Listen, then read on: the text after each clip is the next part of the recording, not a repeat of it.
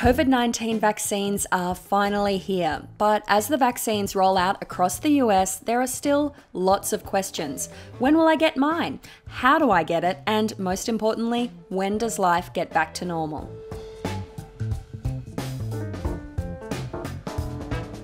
The vaccines for COVID 19 have been developed in record time, but while they're highly effective, health officials still need to get those shots into arms. And in the United States, which has a population of more than 330 million, that vaccine rollout is a huge task. Let's break it down.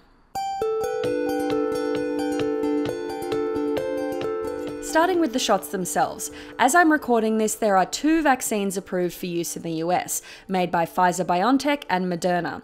They both require two separate shots to work properly, three weeks apart for the Pfizer vaccine and four weeks apart for Moderna. There are also vaccines from Novavax and AstraZeneca, the so called Oxford vaccine. Both of these could be approved for use in the US by early spring. And then we have Johnson & Johnson. That vaccine is just one shot and it's expected to get emergency clearance in the US in early February. Most importantly, the vaccines are provided at no cost to everyone in the US, regardless of insurance. In late January, the Biden administration said it was ordering an extra 200 million doses of the Pfizer and Moderna vaccines, boosting supplies to 600 million, or enough to vaccinate almost all the US population. But those doses may not arrive until the end of summer. Marcus Plescia is the Chief Medical Officer for the Association of State and Territorial Health Officials, which represents about 100,000 public health officials across the US.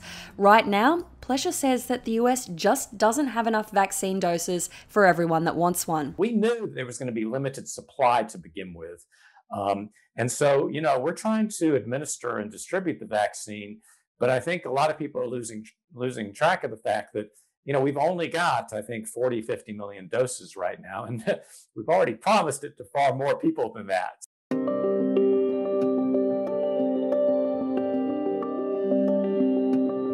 So, how are the vaccines allocated? Well, the federal government is responsible for buying the vaccines from the manufacturers and then distributing them to the states.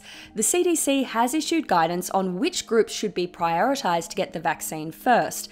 But in the early stages of the vaccine rollout, the Trump administration essentially left it to the states to work out their own plans. For example, virtually all uh, uh of the prioritization efforts uh, said that we should start with frontline healthcare workers who are providing COVID 19 care. Uh, but a number of states chose not to do that. Florida, for example, uh, instead decided to immunize the elderly, but without a plan to do that and, and had a rather chaotic uh, beginning of their rollout.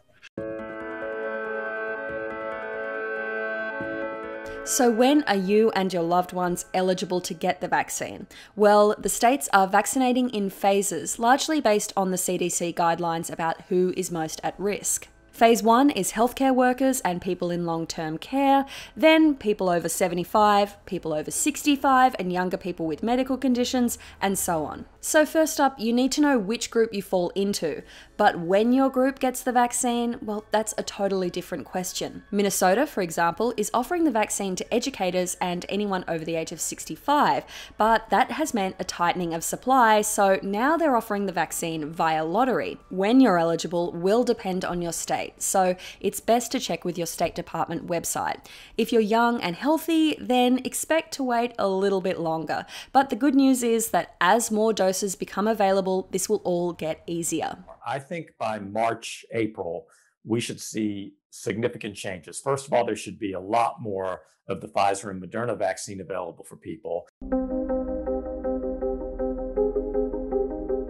When it comes to finding a vaccination site with available doses, getting that information isn't always clear. Do I call my doctor? Do I go to my local pharmacy? Should I go online? If you're struggling to find information, you're not alone. According to Marcus Plescia, the best place to start is your state or local health department website go on the state and local health department websites. There should be pretty good data there about, you know, who's getting vaccinated and uh, you know some data about where you might be able to get vaccinated. Plescia also suggests checking with your own healthcare system, especially if you have an online health record like MyChart.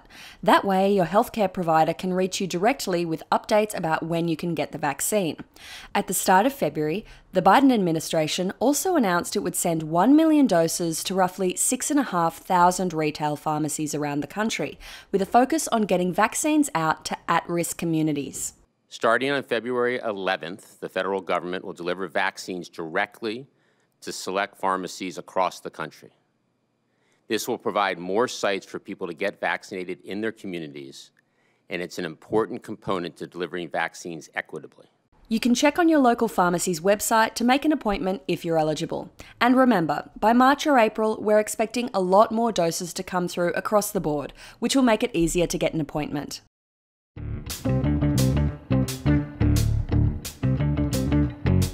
Okay, so you finally snagged an appointment. What actually happens when you get the vaccine?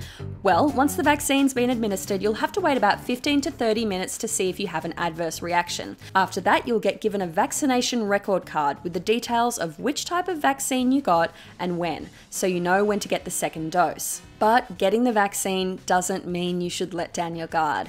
It takes a couple of weeks after the vaccine to develop immunity, and we still don't know whether vaccinated people can carry the virus and infect unvaccinated people. So you'll still have to do things like wearing a mask and social distancing, at least in the short term. But the good news is, the more people who get this shot, the sooner we can be out of this pandemic. Which leads us to our final question when will life get back to normal? case, the best case scenario for, for me is that we'd get 85% of the people vaccinated by the end of the summer. If we do, then by the time we get to the fall, I think we can approach a degree of normality. And in the meantime, if you've got any questions about the vaccine or any kind of COVID explainers in general that you'd like to hear, then hit me up in the comments. We're always here to make sure that you guys are kept in the know. In the meantime, keep it tuned to CNET.